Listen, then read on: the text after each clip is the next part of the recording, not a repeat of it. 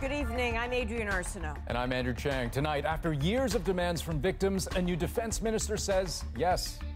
This is a really important step for, you know, proper accountability. Why military sexual misconduct cases are moving under civilian control. Also tonight, Air Canada's CEO apologizes why his words cut so deep in Quebec. This is a bit of a powder keg inside of a dynamite factory. Rosie and At Issue are here on our top stories. New strategies to calm fears, not of the vaccine, but of the needle. My uh, brain and my body just do not let me get this injection. And Canada's soccer superstar and his adoring hometown. Every time I put on that jersey, I fight for this country. Edmonton gets pumped for the return of Alphonso Davies. This is The National.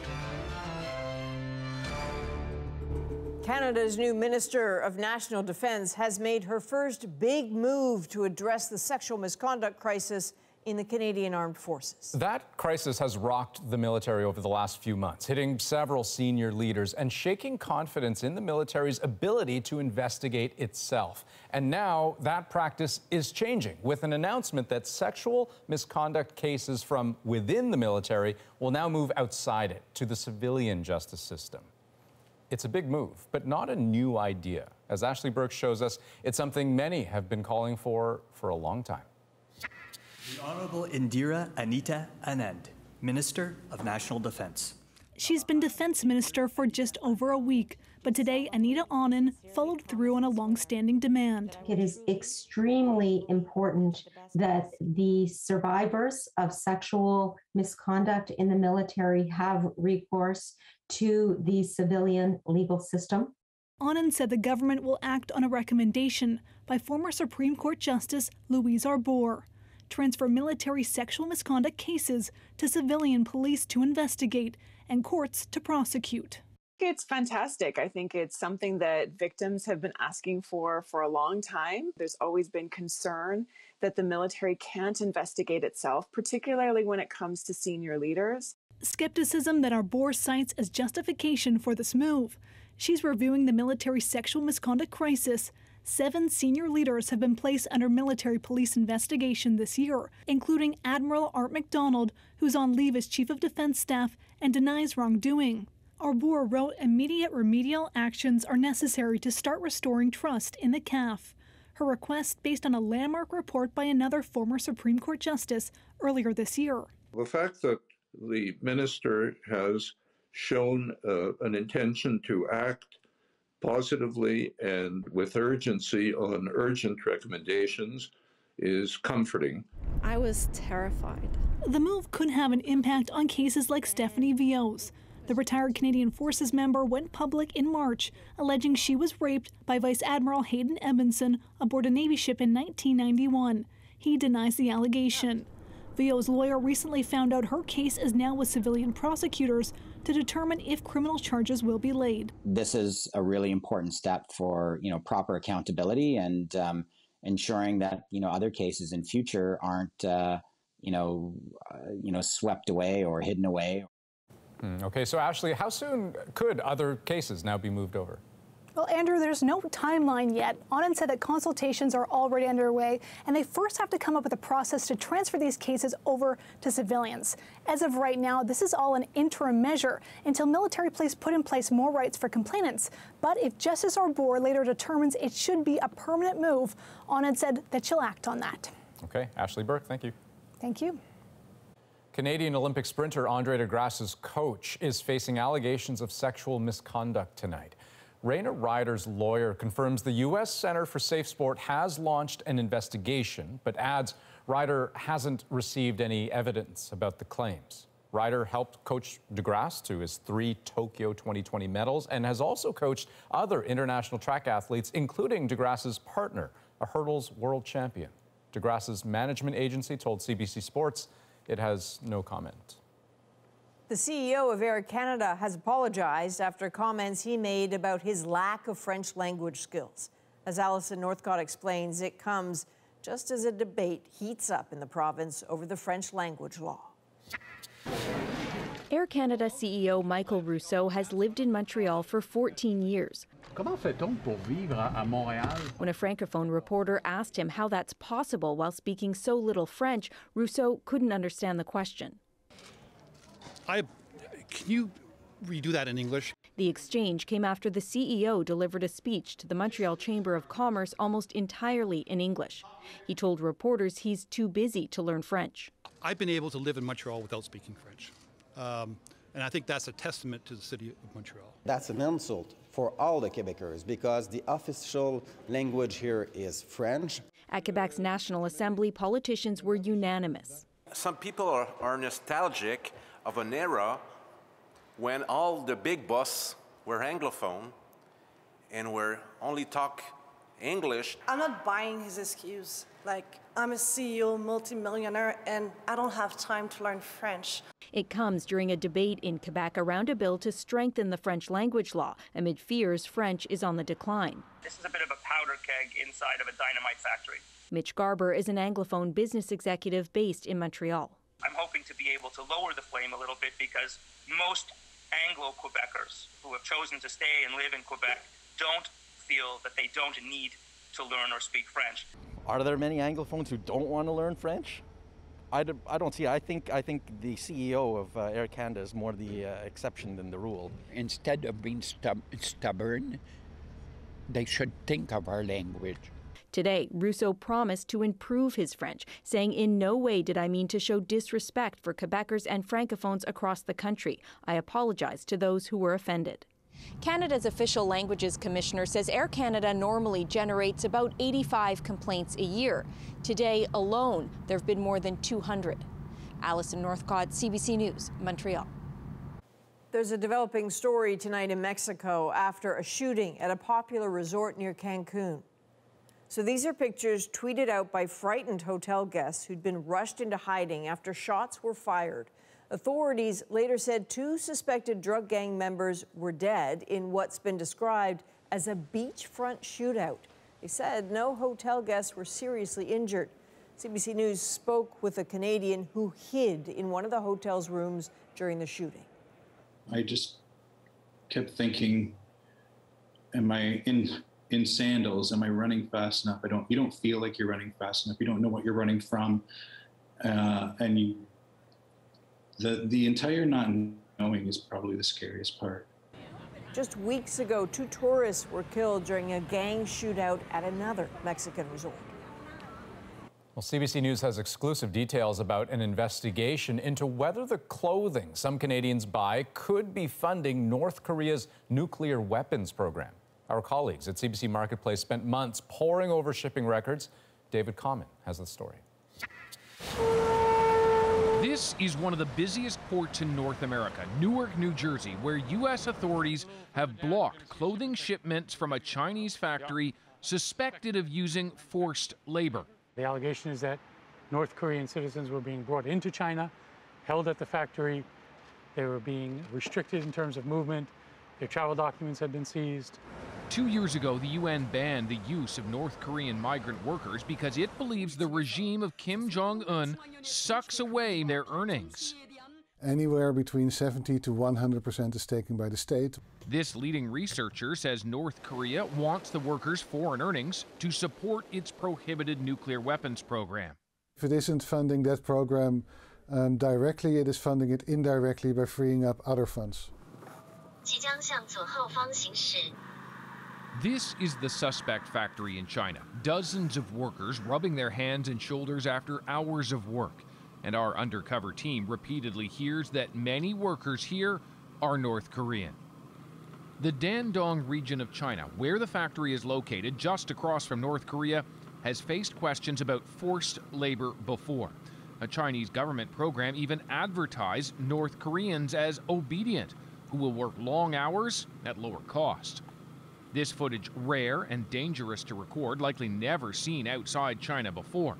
The factory itself denies anyone is North Korean. Canada's Reitmans has been buying a small fraction of their clothes from that factory for a decade. Reitmans tells Marketplace forced labor is banned from their supply chains and their unannounced audits did not uncover any North Korean workers. But after serious concerns were raised last year, Reitman says they stopped new orders from this factory.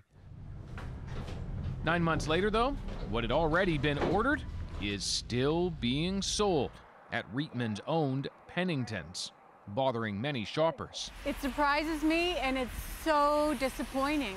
The allegations making more and more shoppers consider where their clothes come from and at what cost. David Common, CBC News, Toronto. You can check out the full results of Marketplace's investigation tomorrow. That's at 8 p.m. on CBC Gem and CBC Television, 8:30 in Newfoundland. BC Premier John Horgan has been diagnosed with throat cancer. Doctors confirmed the diagnosis after conducting a biopsy on a growth in his neck last week. In a statement, Horgan says his prognosis is good and he expects to make a full recovery. He adds he will continue to participate virtually in briefings, cabinet meetings, and other important meetings as he begins radiation treatment in the coming weeks.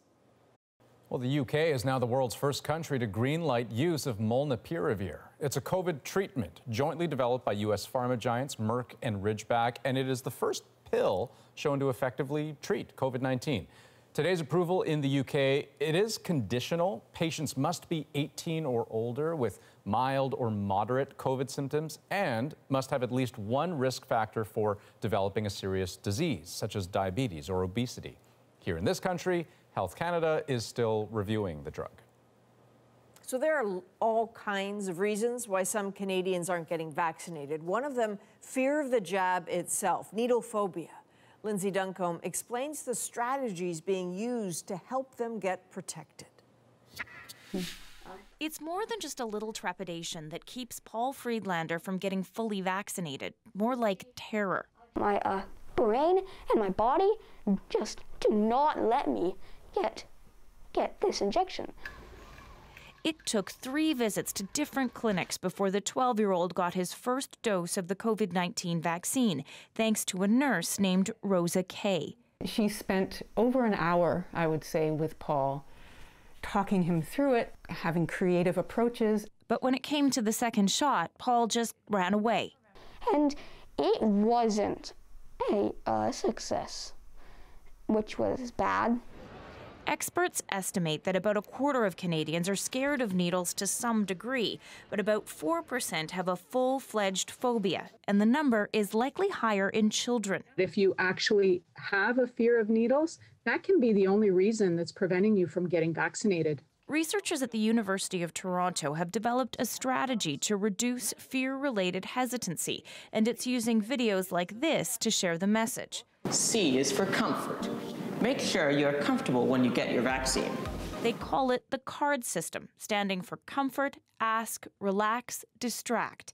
It's the strategy the Centre for Addiction and Mental Health in Toronto uses at special clinics for needle phobic patients, adults, and children. The cubicles are private, there are toys as distractions, and the staff take extra time. These adaptations are fairly simple strategies, and I do think that a lot more effort can be made to just have them available in general clinics. That sounds a lot like how the nurse helped Paul get his first shot. His mom is trying to find her for the second dose.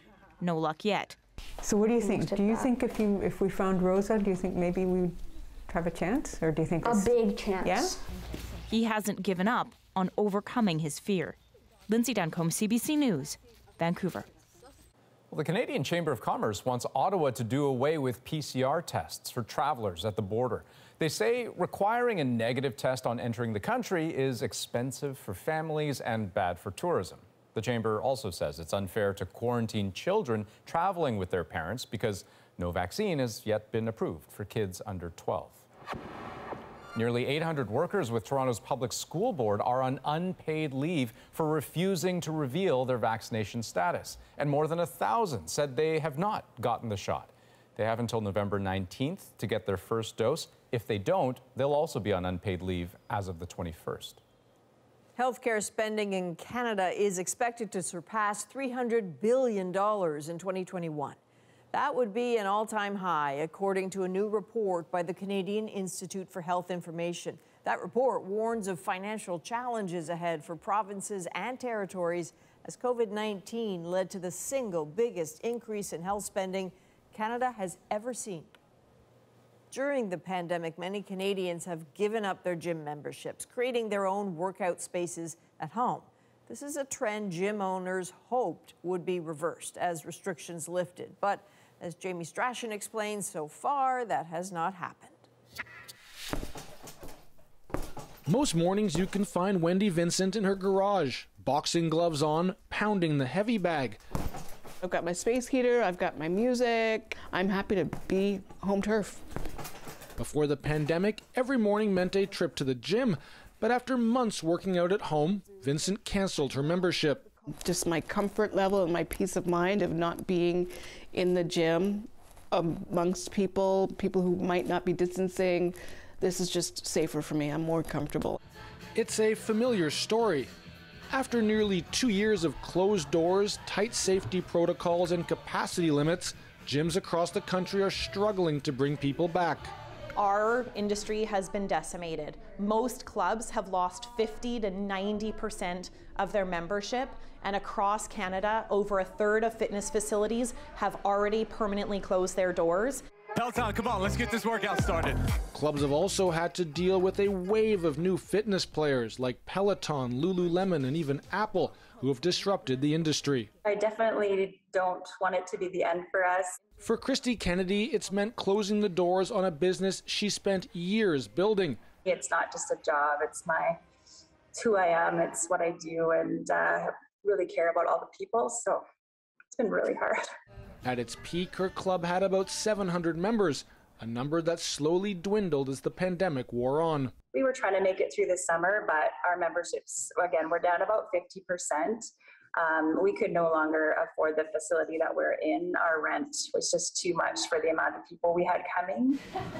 Desperate for a lifeline, the industry is calling for gym memberships to be made tax deductible. There's also hope that people are looking for a change of scenery. People who bought that equipment and had that at home have only raised their confidence that they can now walk into a fitness facility and do a great workout and have a great time and join their friends. But for now, people like Wendy Vincent have found their groove at home. Jamie Strashin, CBC News, Whitby, Ontario. With soaring inflation, Canadians are paying more for just about everything, including food. And soon they could see a spike in the price of pasta. The problem isn't COVID or container ships, it's a shortage of pasta's main ingredient, durum wheat. Provinces like Alberta have had a tough summer of drought and high demand, plus low supply equals more expense for pasta makers.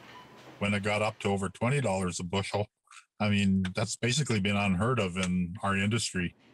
And of course, that's going to have a downstream effect. Now, so far, the price crunch hasn't hit the kind of mass produced pasta you get at the supermarket, but for boutique suppliers and restaurants that make their own pasta fresh, it is a different story at this point, we have no choice. When it's 20% and more, we're going to have to pass it on to our consumers.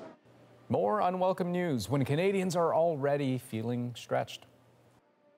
Now let's turn to COP26 in Glasgow, Scotland. The host city once rose to economic prominence through the power of coal. Well, today it was the stage for global promises to end coal's use, though with some notable absentees. Carolyn Dunn explains. Nothing hazy about the message. The days of emission spewing coal are numbered. I think we can say that the end of coal is in sight. More than 45 countries, including Canada, have pledged to halt investment in coal powered generation and agreed to wean themselves off coal power entirely by 2030 or 2040, depending on the wealth of the country. Ending emissions from coal power is one of the single most important steps we must take. In his second week into his new job as Canada's Environment Minister, Guilbeault spoke on behalf of the Global Alliance to power past coal.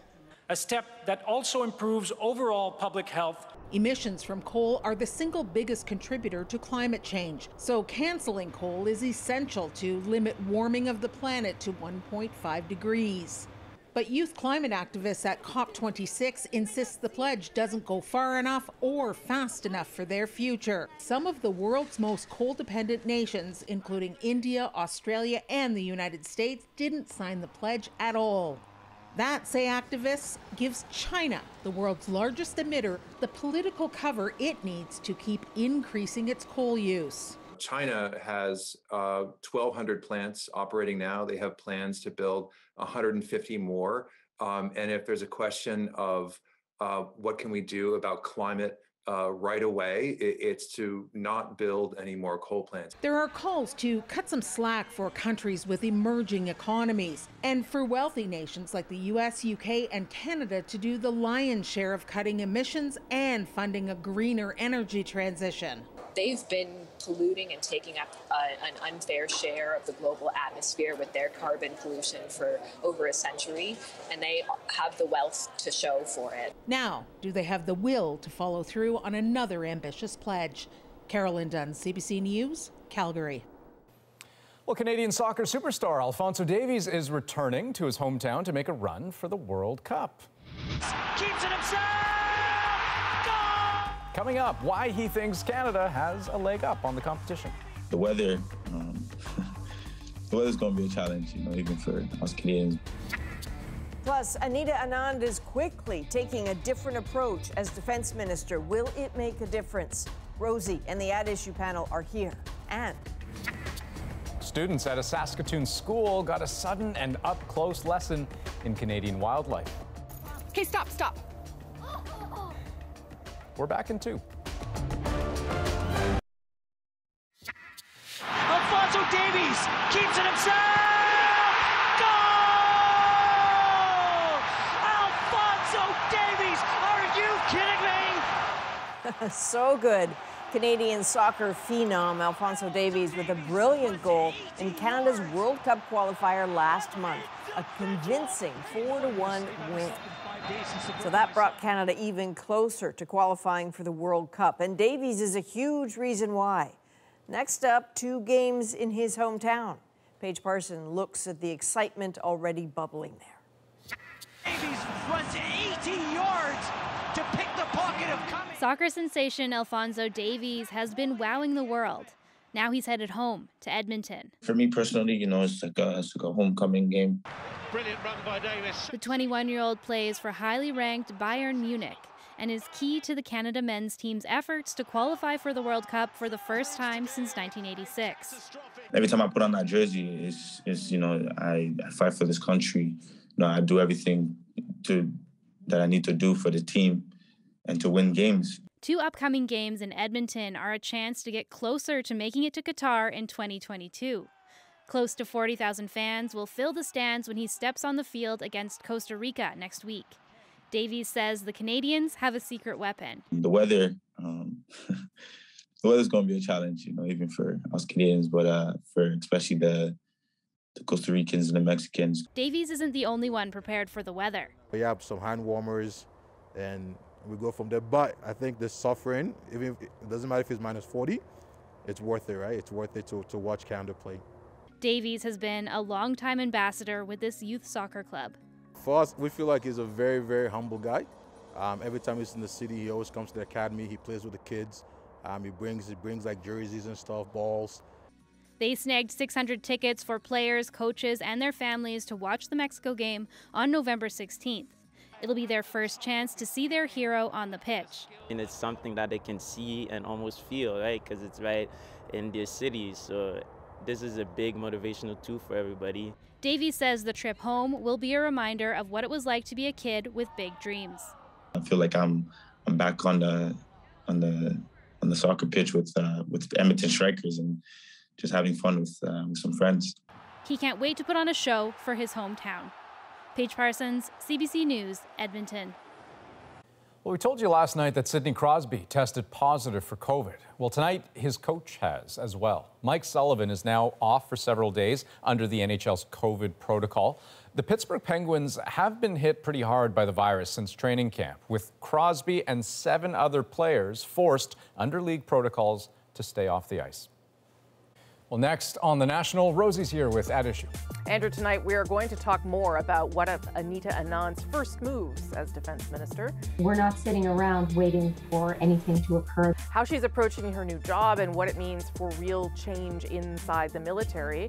Chantal, Andrew, and Althea will join all of us to talk about that right after.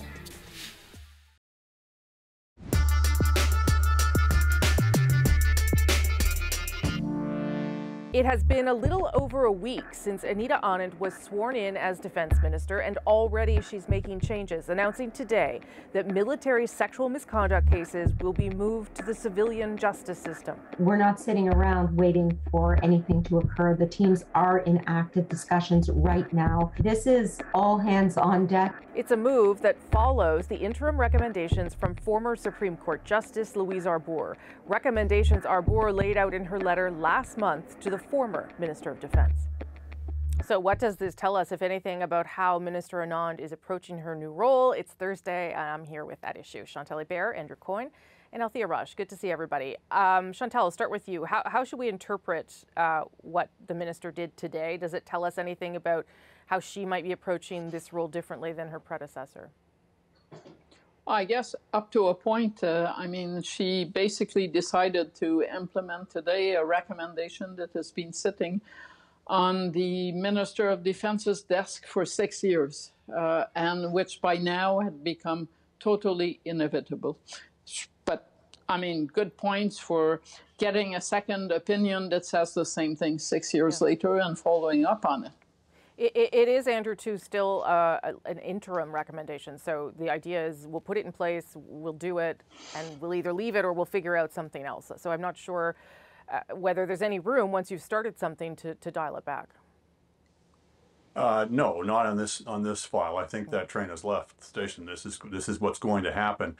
I think uh, it's interesting that uh, you have a new minister here um, who clearly has a legal background that may be part of this, but who is also a new minister, and I suspect uh, the powers that be, i.e., the Prime Minister's office, would prefer that this was brought in with a new broom rather than having it done by the old minister who was a dead man walking for some time.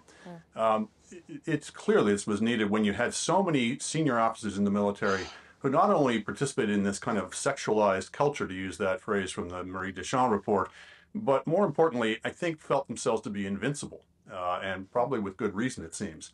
So clearly, normal reforms, normal tinkering was not going to fix this. You had to take the a much more sweeping approach to it. I think the other thing that this calls to mind is that um, you know the chain of command didn't just stop at the top of the military; it extends to the defense minister, who then reports to the prime minister. Uh, this has been a problem that's been on the prime minister's desk for six years, not just the defense minister's desk. And the fact that it took six years for this to happen, I think shows some systemic problems in the way that we over, oversight over the military. Uh, we need stronger legislative oversight. We can't just entrust it to the executive. Uh, Althea, what did you make of, of, the, the move? Very quick off the mark for, for the minister. Uh, well, a few things. The letter was written on October 20th. Um, if the rumors that we were all hearing in Ottawa uh, were true, then one suspects that the that defense minister at the time, Harjit Sajjan, knew that he was on his way out. So, you know, cabinet shuffle was just a few days later. It would have been in the government's interest to not have him act on that and to mm-hmm. leave that yeah. for Anita Anand. So I think strategically, uh, it is not that Anita Anand is suddenly more decisive than Harjit Sajjan. Like we we can't say that. If anything, I would say what this whole uh, episode this week is showing us is actually that Louise Arbour is the woman to watch because this recommendation, Chantal talked about it in the Deschamps report, but was also in the Justice Fish report. Oh, yeah. And when um, Minister Sajjan got that report um, earlier, well, in, on April 30th, when he responded to it, he ignored that recommendation. They would they worked on uh, several other recommendations, but this one they did not include. And um, part of her terms of reference for Madame Arbour are that she is to uh, give a report to the minister monthly about what she's doing. Mm-hmm. In her letter, if you read carefully, she now makes deadlines for the minister. She tells the minister, You must tell me monthly what you were doing on this file. Mm. So I think right now it's not so much that it's Anita Anand that we should be watching. Frankly, it's Louise Arbour that we should be watching. Th- those are those are all good points. Chantal, you wanted in there. Should we need uh, six years and three former Supreme Court justices to point the way to ministers and to the prime minister. I, I, I'm struggling with this. I think today's move was a good move, but I don't think it uh, kind of washes away six years. Yeah, I mean that that, that, that Andrew, that's that's your point, and, and I must say for me too. I mean, I've read this recommendation three times now, so uh, at some point the government had to move on it. Um, I, am not sure what has changed. Is it is it the, the the public's willingness to live with this? Is it the sheer volume of complaints there have been? Why why is it happening finally? I think that's part of it, the sheer volume. It, yeah. it, reaches a critical mass. Look, there's a reason why militaries have a separate judicial system. There are crimes in the military that don't exist in the civilian yes. power. I understand why there'd be some reluctance uh, to, to, to make such a radical move. But at some point, when it's clear that you have institutional and cultural failings on such a scale, uh, I don't think there's any alternative. Um, uh, Althea, do, I mean, how, how many times could the government have ignored this complaint? Were we just not sort of reaching the inevitable, uh, as, as I think it was Chantal who said? Well, I think in this case, we actually have to look at what Madame Arbour is saying in her letter. What she's saying in her letter is that there is a crisis in the in terms of public perception, but also that the military itself is handicapped by its own rules. If senior leadership cannot know whether or not people are being investigated, they may make, as we have seen, uh, hirings and promotions that are, you know, if they had the full disclosure, they would not be making. And so, in their own self-interest, not only in the interest of the victims, in the the DND's own interest, this is a recommendation that needs to be acted. I mean, she's very clear to say that you know, this is an interim recommendation. It doesn't mean that this will be included in her final report. She may decide to go the other way. We probably all think that she won't, but um, she's decided that in her investigation at this point, yeah. this needs to be done now. What what what would the it, military take? Oh, sorry, Andrew, go ahead. Yep.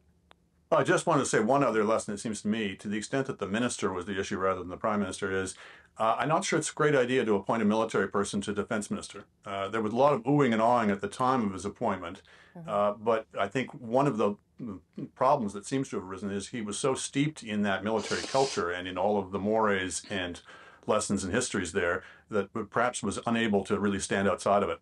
Yeah, as we were talking about before, it's six years to the day when that first cabinet was appointed with Harjit Sajjan, and the language at the time was very different than it is now. Chantal.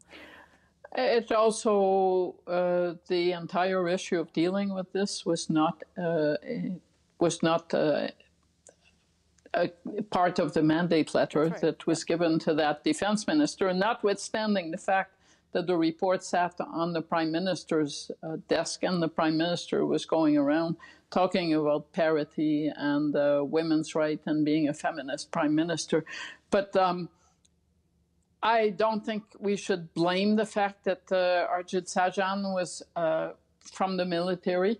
We have had scores of defense ministers who were not.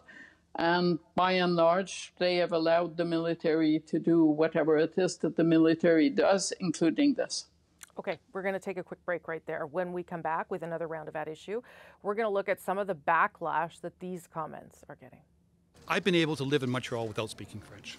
Um, and I think that's a testament to the city of Montreal. The political response to those comments from the CEO of Air Canada's lack of French, that's coming up.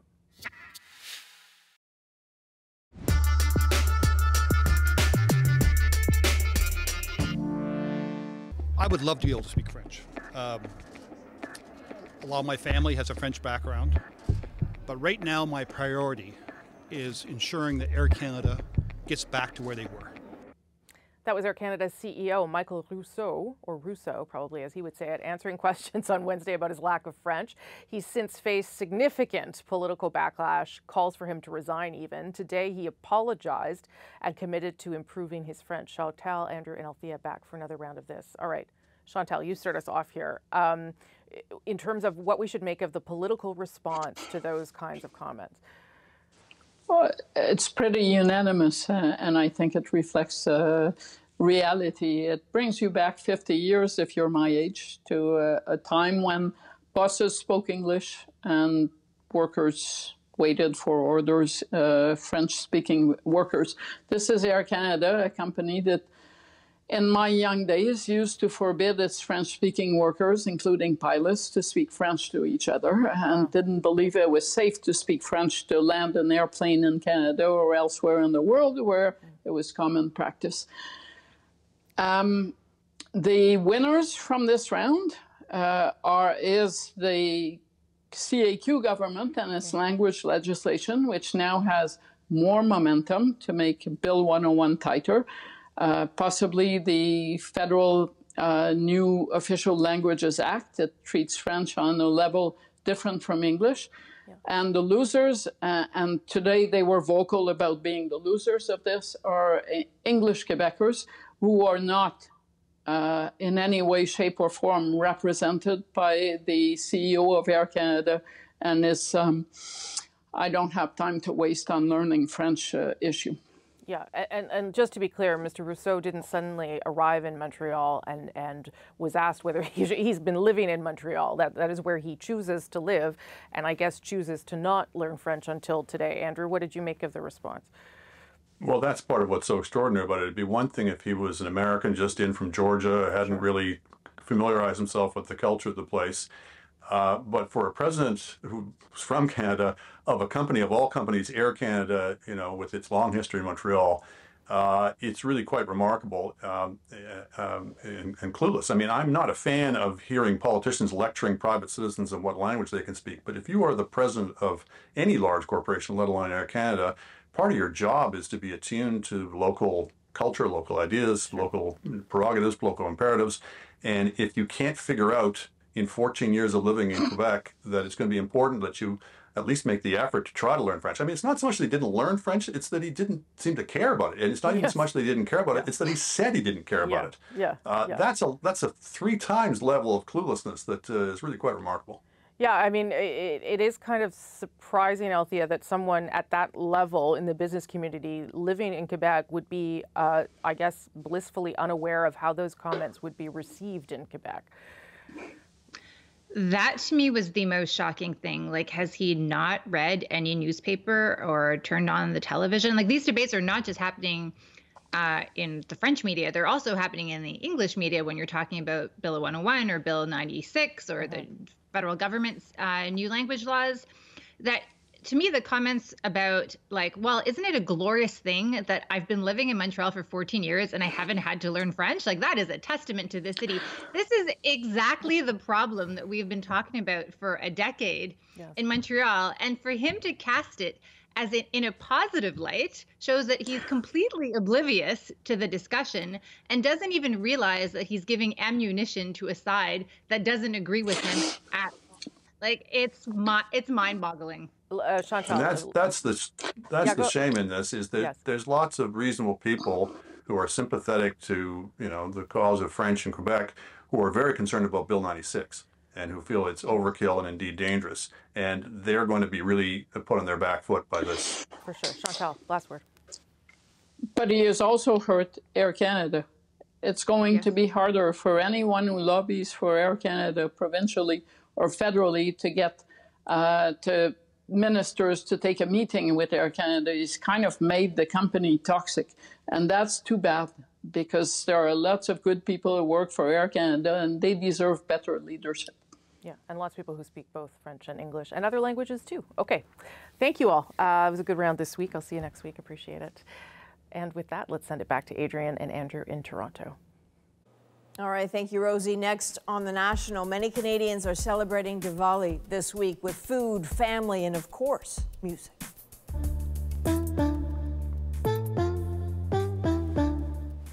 But has the pandemic dimmed the festivities for another year? Plus, learning and search for knowledge can never stop. Hey, she knows what she's talking about, and she's got proof. Stay with us.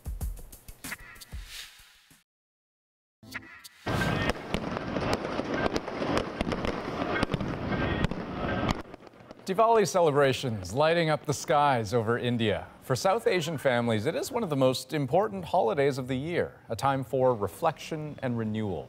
At India's borders, that meant soldiers, even those on opposing sides, coming together to exchange sweets.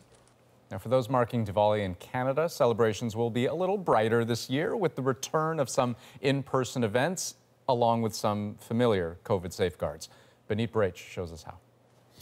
We're just going to put out the offerings now. From Rangoli art, divas, sweets, and more, The Diwali for this family is a vibrant celebration. But this year, they're spending it closer to home than usual. We're just keeping it a close family celebration because of COVID. Before the pandemic, the Bhatias always celebrated the Diwali in India, where they organized charity efforts aimed at providing free cataract surgeries to those in need. We try to think of it as bringing literal light. For others, this year marks a return for more community connection. This year, people are excited. We do the full decorations on the temple and lighting and everything. Diwali has different histories and stories for Hindus, Sikhs, Jains, and some Buddhists. Each has different ways of celebrating. At this Sikh Gurdwara, right across the Hindu temple, community members are gathering to celebrate Diwali in their own respective ways. Just here, clay oil lamps known as divas or diyas are being lit. Tonight, this will be blanketed with candles, surrounded by people, a symbol of light over darkness, good over evil. Community gathering is always happy, you know. And safety is a priority. We are uh, asking everybody to wear the mask when they come in. I think that we are still um, in the road to recovery from the pandemic, and we wanted to provide options to people um, to be able to celebrate um, Diwali in some form. These dance performances are also part of a virtual showcase. Back at the Bhatias, this year may not be the Diwali they're used to, but they're optimistic. Diwali has become something that's a celebration of light, of family, of hope, of gathering together. Something she soon hopes to celebrate again in India. Baneet Braich, CBC News, Surrey. It was a scary and pretty weird morning for kids and faculty at a Saskatoon school after a young female moose just crashed into class. Okay, stop, stop. This lost soul was first seen trotting around the city, very Canadian moment, but her wander came to an abrupt end at a nearby school. She was running, and uh, I think what would have eventually happened is she got cornered and uh, she had one of two directions to go, and uh, unfortunately, she chose to jump through the window. That's how you clear a classroom pretty quickly. Just one student suffered minor cuts and scratches. Everyone else got out safely. And the moose, well, she had some minor injuries, but with a little help, she emerged safely, may take her walks elsewhere. I'm pleased to report that the moose was uh, successfully tranquilized. Uh, once she was out of the city and in a safe location, we uh, we woke her up and uh, she's on her way now. Gosh, poor thing. Okay, uh, after the break, we meet the Ontario grandmother breaking records at York University. My mind always was telling me, you are a student. Her impressive academic career is our moment. Next.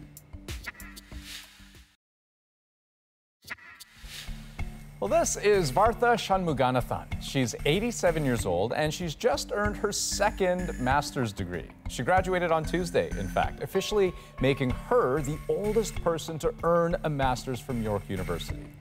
Her impressive academic achievement is our moment.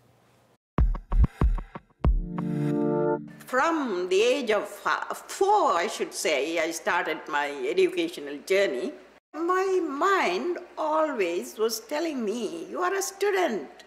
Peace and nonviolence are the two topics that I cherish. I was writing my MRP about the causes of the Sri Lankan war. It was uh, interesting at the same time hard work. Younger students, because they were energetic, I felt rejuvenated. And uh, happy to talk to them. And some of them came and uh, treated me like their own grandma. Learning and search for knowledge can never stop. Uh, you should have the fire in you, that ambition, that passion. Age is not a barrier. so first off, congratulations on the graduation. But I, I, can't believe it. Her first master's degree, she started when she was in her 50s. The second one in her 80s. She thought about getting a, a PhD in, in political science, but thought, no, it's, that's enough. well, let's add let's add author of three books to right. those credentials. Interestingly, she said she got her she chose York because it offers a tuition fee waiver for people over 60, which seems like a great idea. Oh. Congratulations. Oh. That is a national for November the 4th. Good night. Good night.